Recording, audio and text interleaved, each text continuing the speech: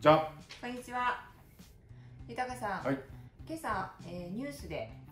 ジャイアンツの菅野投手がメジャー契約合意に至らず巨人残留決定ということで、ねはい。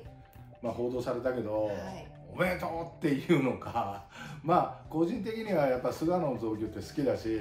やっぱみまだまだ日本で見たかったなっていう思いがあったんで、はい。だからそれはあの非常に良かったかなっていう。うん。まあ日本球界にとっては明るいニュースになったかなっていう、はい。まあ、菅野にとって見れば残念だったかもわからないけどね。はい、結果になった一番の要因というのはまあ要因は結局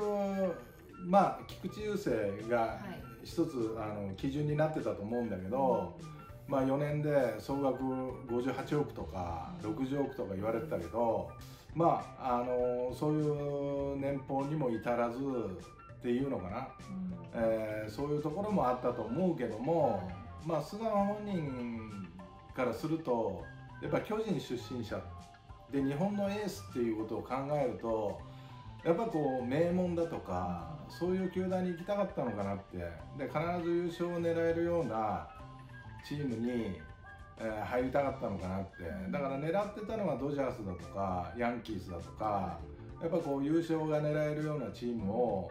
まあ、探して交渉に当たってたんだけどもまああの合意に至らずということでね、うん。えなんか複数あの獲得に乗り出していた球団もあったあったみたいだけどね。だからなかなかあの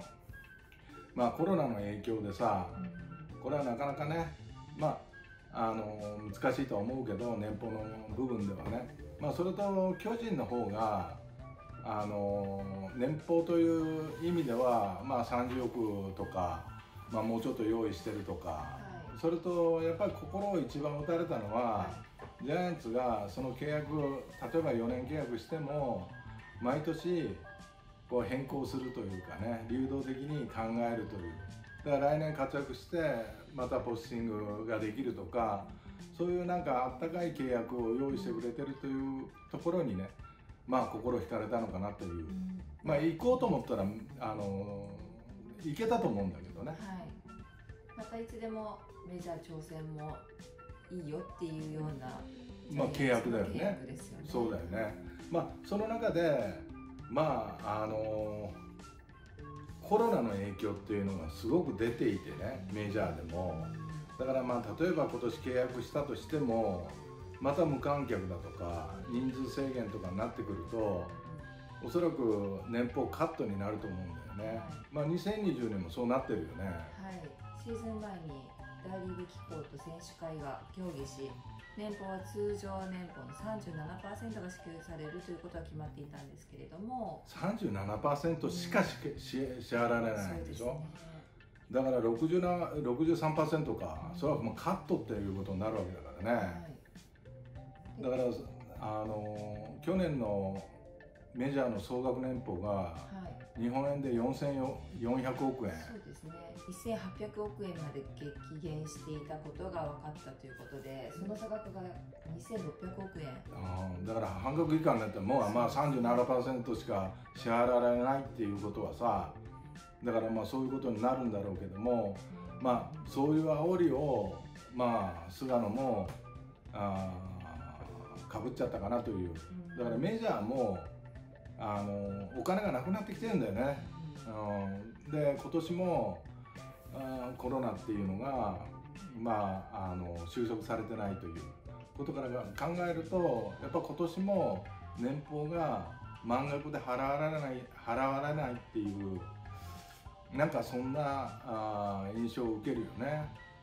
ぱりこうメジャーで37%しか支給はされないっていうような状況だと、まあ、そういった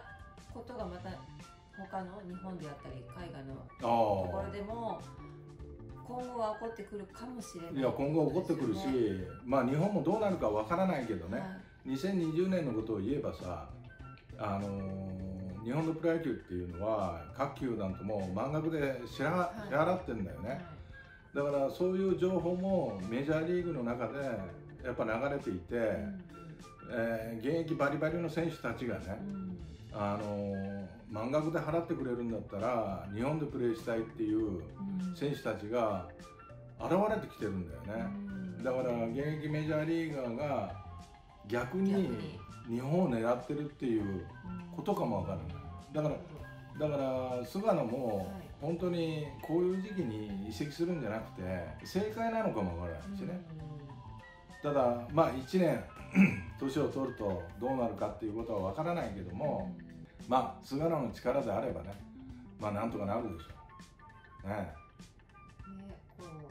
うなかなかスムーズには一石メジャーに行くこともまあできないよね。だからまあ有原が移籍は決まったけどさ、はい、これがまあ一定年俸が支払われないとかさまあ西川がね、はい、やっぱポスティングで手を挙げてたんだけど、まあダメだと、はい、ただその現役バリバリのメジャーリーガーがさそういうふうな日本に向いてるっていうことを考えるとね田中マー君がそうですね。まあ、ヤンキースから、まあ、FA 権でね、はい、FA を取り、まあ、移籍の先を探してるわけだけどもどうなりますかね、まあ、正月のさ、はい、あのー、情報によると、はい、楽天もという話があるけどもね。ありましたね、うん、でラジオに出演した際にさ、まあそういう匂わすようなことも言う、うん、ことは言ってたよね、だからまあヴィッセル神戸も楽天が持ってるんだよね、うん、その中でイニエスタっていう選手がさ、はい、スペイン代表のもうスーパースターだよ、うん、スペインに帰れば、はい、まあ日本でもスーパースター。世界的なプレーヤー、はい、で36歳というさ年齢で32億から33億ぐらいの年俸もらってんだよね、うん、それを考えまあこれは三木谷さんのポケットマネーだって言われてるんだけど、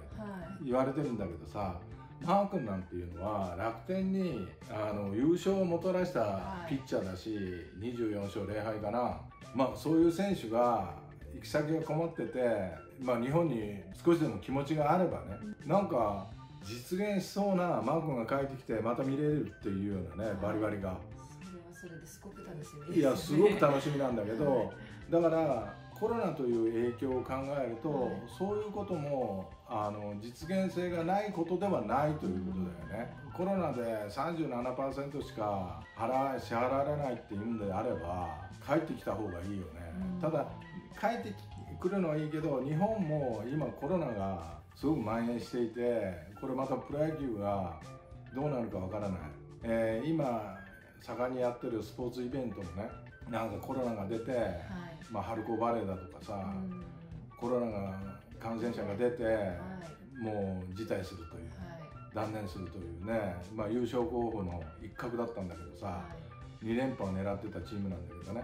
うん、まあそういうチームが離脱しなきゃいけないという。だから日本も、まあ、そんなにスタミナがあるはずはない。例えばお客さんで収入を得ないとやっぱ球団の経営がアップされてると。だからまあ昨年は年俸を支払われたかも分かんないけども今年はどうなるか分からない。ただ日本の流儀として契約は契約ね。で支払うということがおそらく今年も行われるとは思うんだけどね。だからまあそういうことを考えると まあ諏訪の正解だったかもわからないしマークも見れるかもわからないし、もしかしたら、はい、うん。だからその中でまああの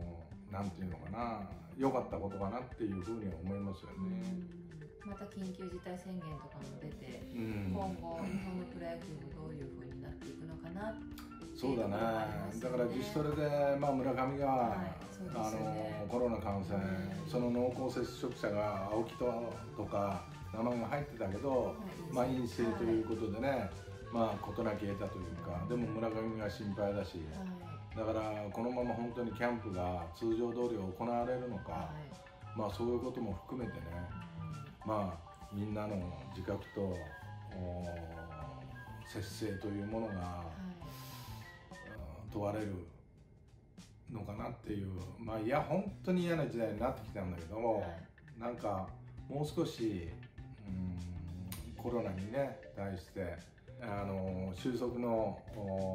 光が見えればね、うん、いいんだけど今もう拡大してるような状況だから、まあ、選手の皆さんは、まあ、自主トレとかね、あの